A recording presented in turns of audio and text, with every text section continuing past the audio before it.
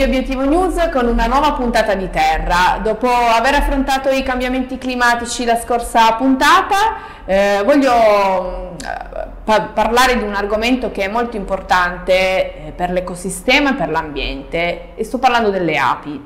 Lo eh, facciamo insieme al, al tecnico apistico ehm, Luca Allais, benvenuto. Grazie, grazie dell'invito.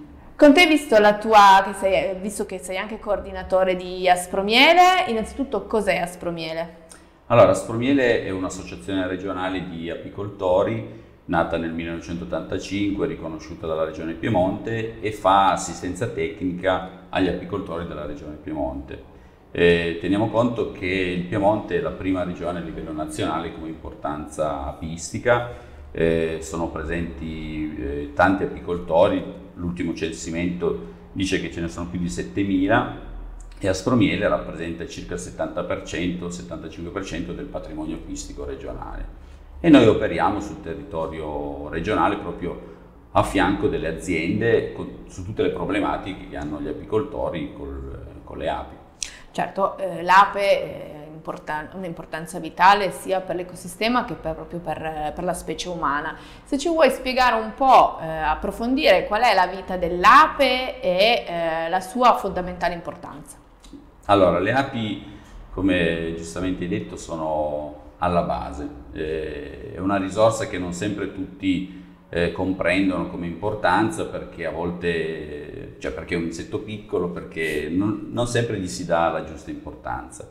In realtà noi eh, viviamo, noi ci nutriamo, noi riusciamo a interagire con l'ambiente proprio grazie alla presenza dell'ape.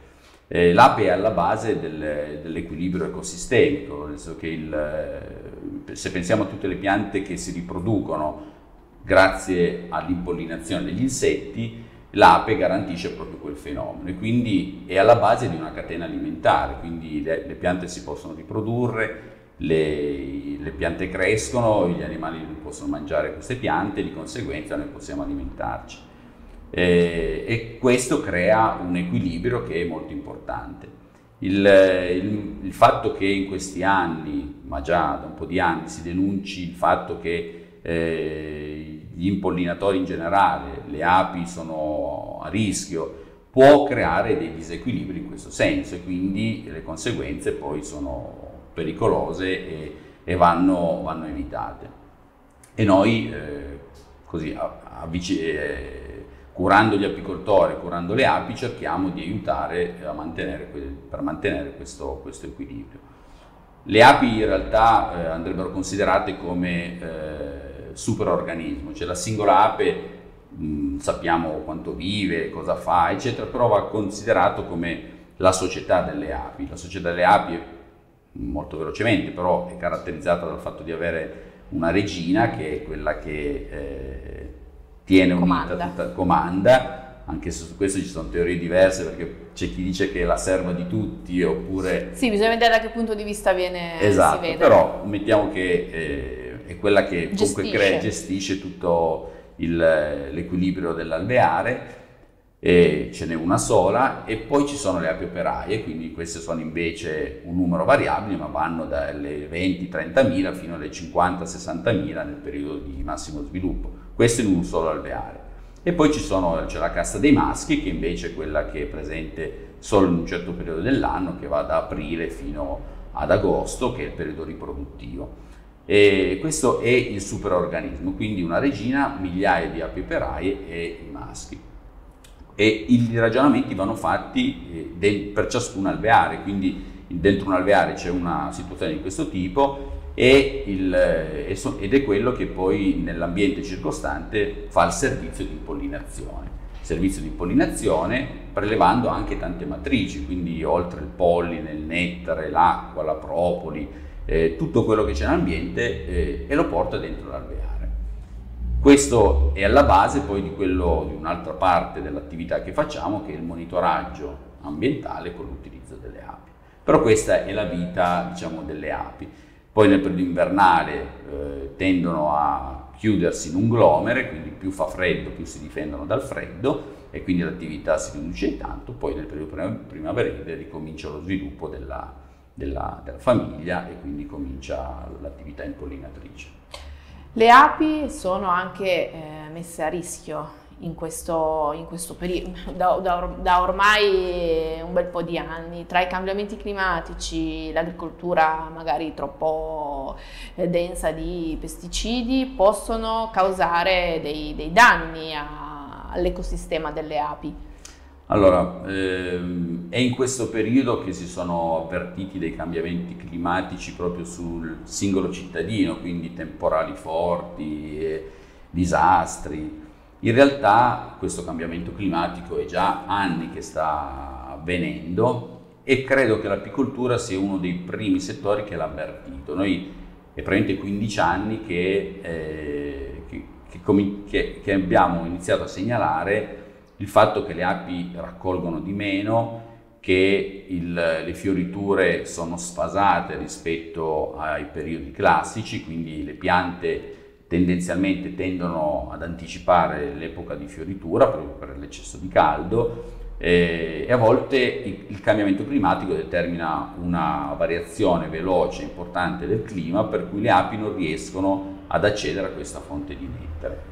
E questo crea dei problemi di sopravvivenza per le api e crea dei problemi di gestione per le aziende apistiche perché non sono più eh, diciamo, non, non, danno più un reddito sufficiente agli apicoltori per sostenerle.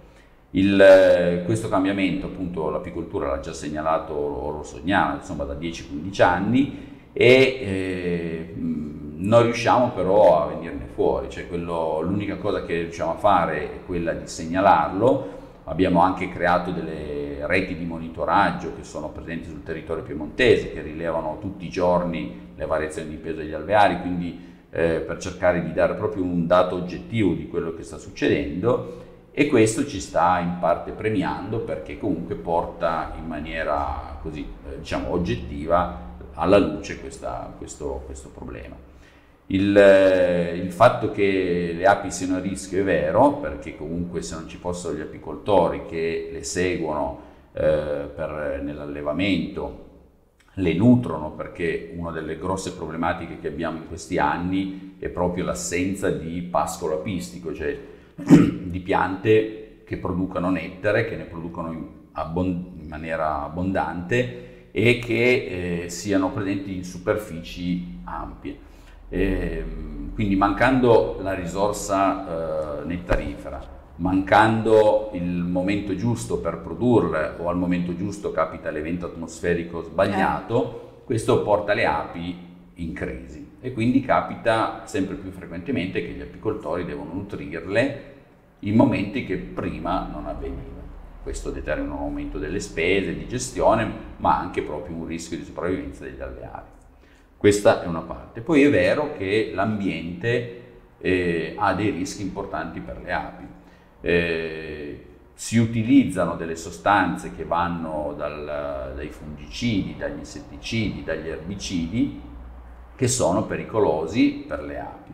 Negli anni, eh, per esempio, abbiamo visto una, un cambiamento nell'effetto sulle api perché abbiamo un progetto di monitoraggio ambientale, quindi abbiamo una serie di alveari posizionati in giro sul territorio dove puntualmente andiamo a prelevare delle matrici, delle, del polline, della, della cera, del nettare, facciamo le analisi e vediamo cosa viene fuori da, questi, da, queste, da queste analisi.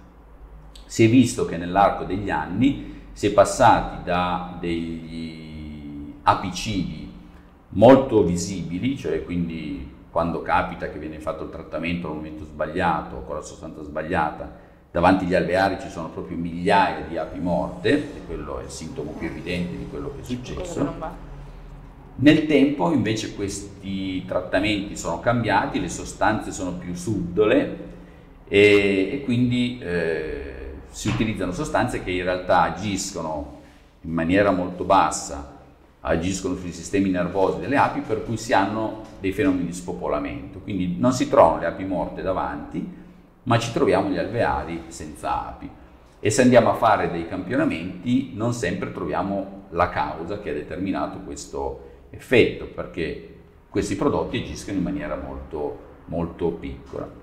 Però in realtà cosa succede? Che ci sono questi spopolamenti, ma abbiamo anche evidenziato che quando troviamo dei residui, i residui sono delle miscele, che sono il fungicida più l'insetticida, sì, a volte più l'erbicida, che magari sono presenti in piccole quantità, le singole quantità non danno un effetto letale, ma non c'è nessuno studio che dice il fungicida più l'insetticida più il, l'erbicida qual è l'effetto complessivo e noi lo vediamo invece con lo spopolamento. Quindi diciamo che il, eh, ci sono diverse insidie che, eh, dalle quali le api si devono difendere eh, e nel tempo stiamo cercando di monitorarli e di portarli alla luce. Quali possono essere gli aiuti? E il settore ehm, ha bisogno di aiuti eh, perché comunque eh, l'apicoltura fino a dieci anni fa eh, non aveva grossi aiuti dal punto di vista dei contributi, perché comunque è un settore che è riuscito sempre a reggere, eh, anche se a fatica, ma sostanzialmente era un settore che reggeva.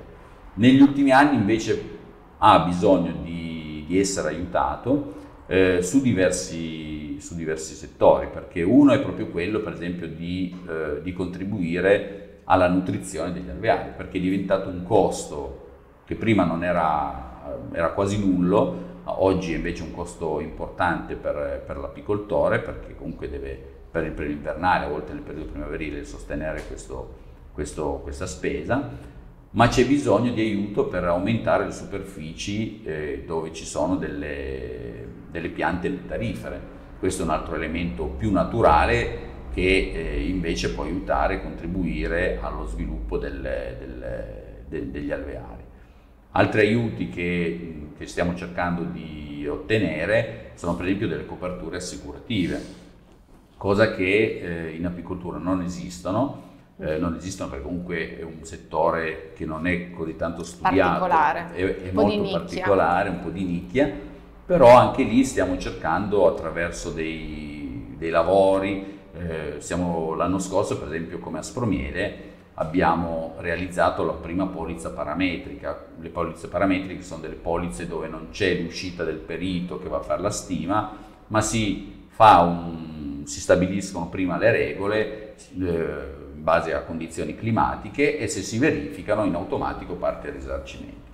Però sono sempre situazioni che non risolvono il problema, sono le polizze sono care ancora perché non si è ancora riusciti a raggiungere. In agricoltura è difficile avere delle coperture assicurative vere e proprie. Esatto, quindi anche perché effettivamente è un settore molto a rischio, quindi anche le, le, va da sé che le compagnie eh, non, non, tendono ad assicurare. Non, eh, insomma, non fanno un'attività, è un'attività economica anche la loro e quindi devono applicare una serie di regole economiche. Però ecco, diciamo che il movimento è in atto, nessuno di queste ha ancora risolto il problema dell'apicoltore, ci sono anche dei regolamenti adesso a livello regionale che danno dei contributi se si portano le api in alcune zone a impollinare, quindi è maturata anche all'interno del settore agricolo l'importanza del settore, eh, però il cammino è ancora lungo, quindi ci stiamo battendo per... Eh, tanto perché sanno tutti qual è l'importanza dell'ape. A questa importanza venga dato un riconoscimento ufficiale di sostegno per mantenere in vita le aziende. Appunto a livello regionale ci sono dei contributi sia per le attività già in essere o per chi magari vuole eh, avvicinarsi a questo settore? Allora sì, la, diciamo che i contributi che ci sono eh, a livello regionale sono dei contributi che sono legati a eh, dei regolamenti europei eh, che finanziano anche per esempio l'assistenza tecnica, con la quale lavoriamo noi tecnici, ma eh, una parte va proprio alle aziende agricole, per cui se comprano una serie di, di cose che sono previste dal bando hanno una percentuale di contributo a fondo perduto. Naturalmente questi sono rivolti alle aziende eh, con un certo numero di alveari e le, che fanno un'attività economica. Questo è il contributo principale che arriva a livello europeo, che è più sull'acquisto dell'attrezzatura per avviare, l'attività. Per avviare l'attività o per eh, ampliarla, o per ammodernarla. E diciamo che dall'anno scorso a quest'anno sono aumentati e il settore ha reagito fortunatamente in maniera positiva utilizzandoli tutti. Tra l'altro è importante dire che è un settore dove il contributo quando arriva viene speso tutto, quindi sì. c'è una buona, una buona, partecipazione a questo tipo di attività.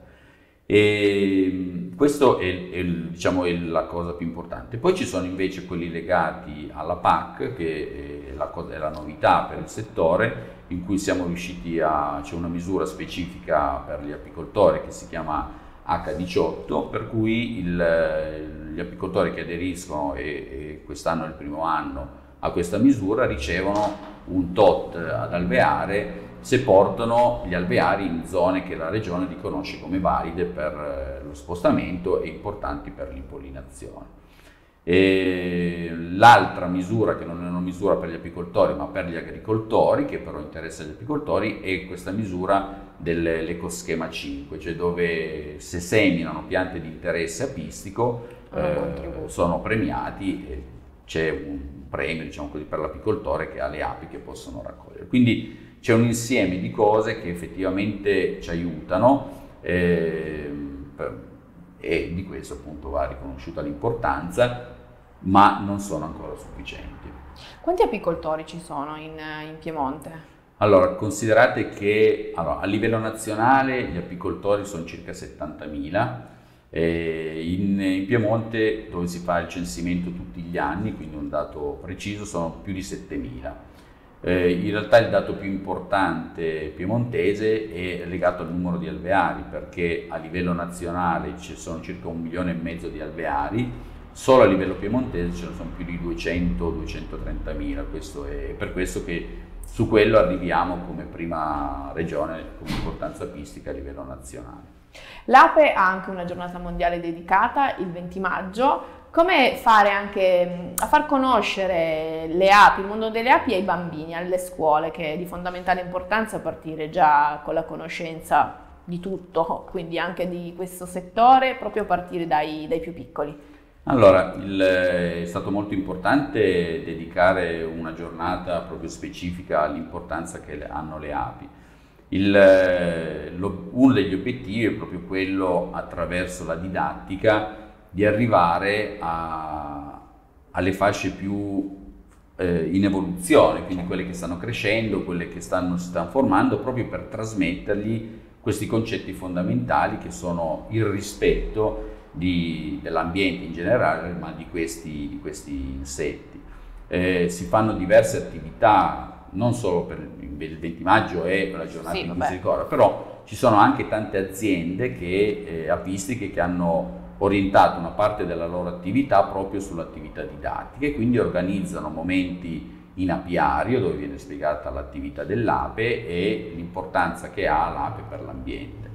Eh, su questo se può interessare, per esempio come Aspromiele abbiamo realizzato uno spazio su internet che si chiama Aspromaps, dove sono elencate tutte le aziende che fanno attività didattica, quindi se uno vuole può andare a cercare... Sì, anche per le scuole che magari organizzano le gite. Esatto, sì. Poi abbiamo degli apiari didattici, eh, queste sono in realtà a volte delle iniziative legate dei comuni, per esempio noi abbiamo a Nichelino, abbiamo un apiario didattico che ha sostenuto il comune dove organizzano anche attività didattiche, ma anche in altre zone, per esempio ad Alba ce ne sono altre e a volte sono proprio legate ad attività sia didattiche che di monitoraggio ambientale, quindi hanno questa doppia valenza e diventa tutto un momento di tras- formativo non solo per i bambini ma anche a volte per le scuole, abbiamo delle, delle scuole eh, di, di grado superiore, del, delle superiori, dove fanno dei progetti mirati proprio sulla, sulla sensibilizzazione per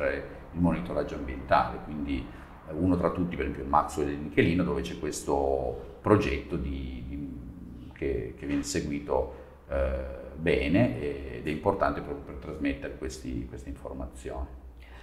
Le, le, api producono il miele, il miele che ha anche delle grandissime proprietà eh, naturali indispensabili anche per, eh, e utili per l'uomo. Sì, il, eh, l'alveare produce diversi prodotti, il miele è il più importante, eh, insieme comunque c'è la pappa reale, c'è la propola, il polline. Eh, il miele è un prodotto che eh, non tutti conoscono, nel senso che sembra banale, sembra il migliore antibiotico naturale, il miele. Viene considerato un antibiotico naturale quando ci sono delle problematiche che danno soprattutto delle, delle, delle, delle vie, aeree, vie aeree il, il, famoso acqua o tè con la bevanda calda. Limone e miele. esatto, credo che siano conosciute da tutti. Noi come, eh, diciamo, come indirizzo cerchiamo di eh, spiegare anche bene qual è l'importanza del miele in cucina, perché e poi alla fine l'utilizzo che se ne fa in prevalenza. Eh, c'è, c'è, addirittura una parte di, eh, di, formazione che viene fatta proprio sull'utilizzo del miele in cucina e invito tutti a fare una macedonia col miele, quindi mettere da parte lo zucchero e il limone, ma utilizzare il miele perché a quel punto c'è l'acidità del limone, quindi non si ossida la frutta e c'è lo, la, il dolcificante e eh, l'aromatizzante della seconda del tipo di miele che viene prodotto. Il miele è un prodotto che eh, soprattutto in Piemonte ha tante sfaccettature. Esatto. Eh, abbiamo... Beh, infatti volevo proprio chiederti quanti tipi di miele ci sono nel nostro territorio. Allora, considerate che eh, su questo possiamo vantare a livello nazionale una tradizione, una capacità apistica molto elevata, che ci riconoscono tutti e grazie alla conformazione geografica che abbiamo si possono realizzare più di 40-50 tipologie di mieli monoflorali, eh, quindi è una, è una, ricchezza importante.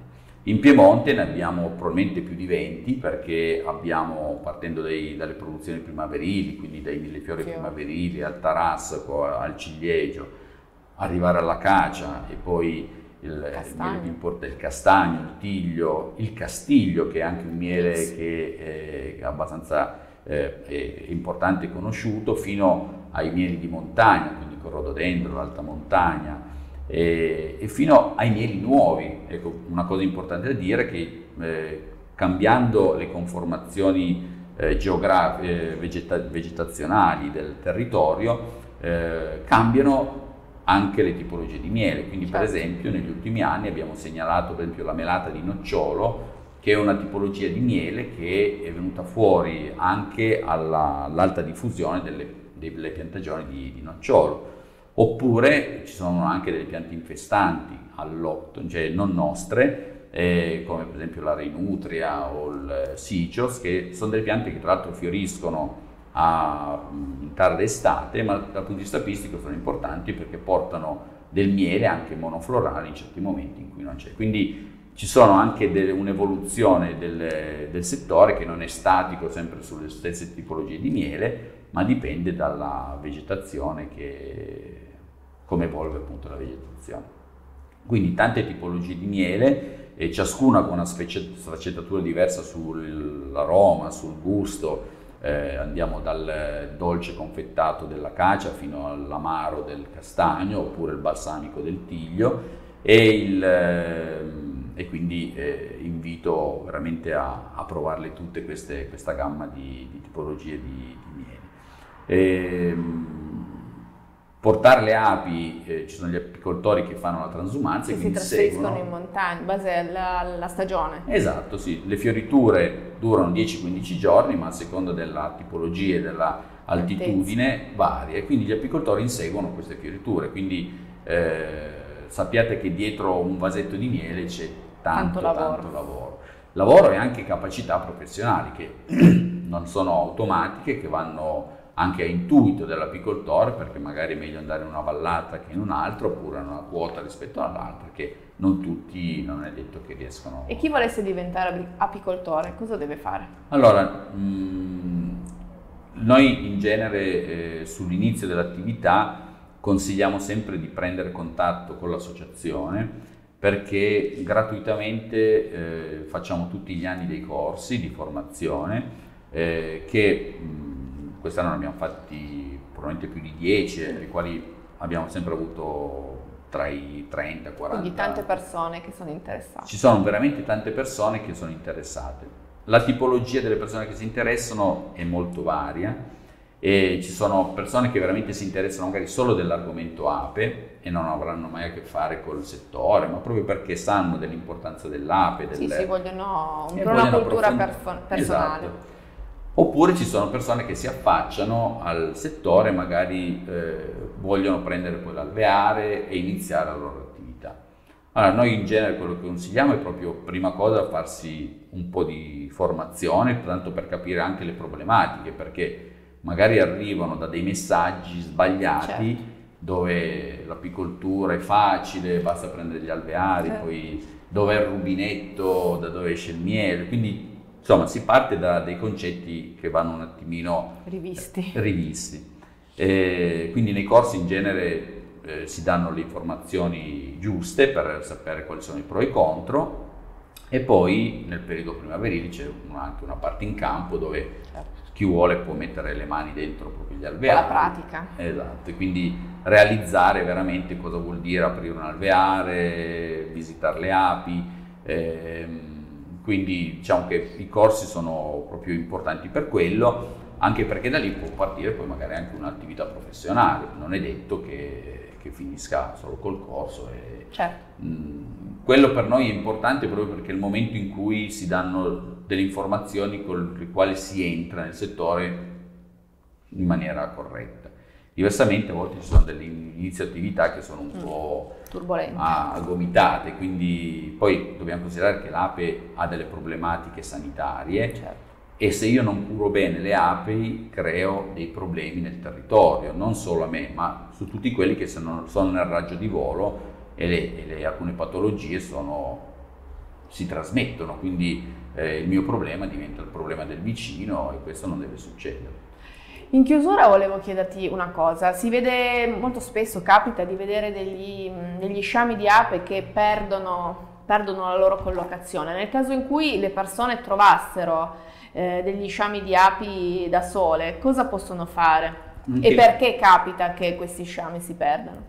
Allora, quello è in genere un fenomeno naturale che avviene tra aprile e maggio, eh, che è il cosiddetto fenomeno della sciamatura, che è il momento in cui le api si riproducono naturalmente. Quindi metà delle api insieme alla regina escono dall'alveare e vanno a cercare una nuova casa. E quindi lì eh, creano questo... È, è un momento di passaggio, quindi la prima parte della sciamatura le api si allontanano di poco dagli alveari, poi fanno dopo un volo più lungo. Allora, in quell'occasione eh, noi cioè, tra aprile e maggio riceviamo veramente tante telefonate di persone che segnalano e il passaggio da fare è proprio quello, cioè segnalare ad un apicoltore, a un apicoltore o all'associazione la presenza di questo sciame che poi eh, noi ci occupiamo di mandare qualcuno per eh, cercare di recuperarlo. È importante perché in questo, questo, modo poi non si perdono quelle api che diversamente in natura morirebbero. In natura purtroppo hanno alcun parassita in modo particolare che se non viene affrontato e curato porta alla morte poi delle api. Noi ti ringraziamo di essere stato nostro ospite, di aver spiegato meglio questo, questo mondo che c'è dietro picco, questo piccolo insetto, però di fondamentale importanza. E noi amici di Obiettivo News con questo vi salutiamo, vi diamo appuntamento ad una prossima puntata di Terra. Io mi raccomando, continuate a seguirci su Obiettivo News, su NTV Web e su tutti i nostri canali social. Alla prossima settimana!